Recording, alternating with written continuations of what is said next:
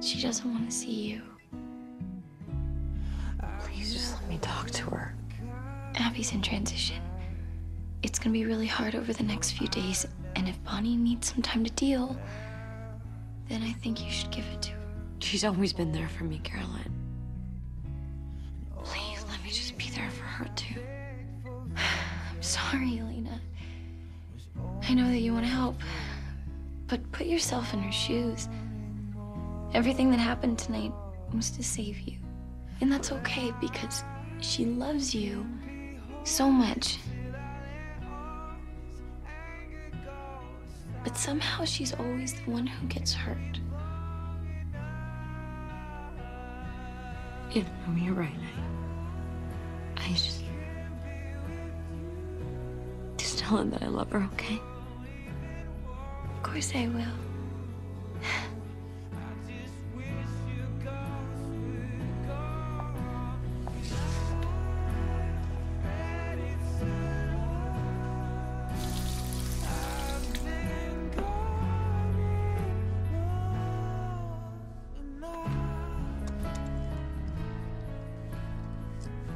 She's safe? Elijah kept his word. Rebekah let her go. Good. I was right in the world again. I lost that coin toss, Damon. Should have been me who turned Abby. Why'd you do it? Because I'm not blind.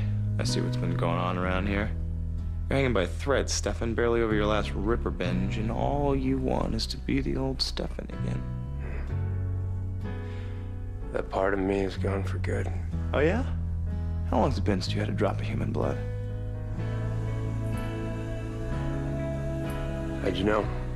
It's been 146 years with someone, you kind of start to pick up on their tells. Answer the question. How long has it been since your last drink?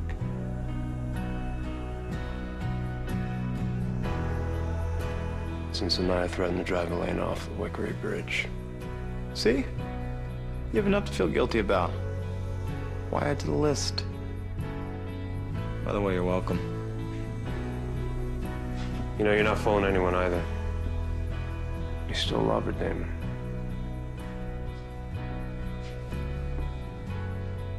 I do. I thought I could win her from you fair and square. She didn't want me. For the best. I'm better at being the bad guy anyway.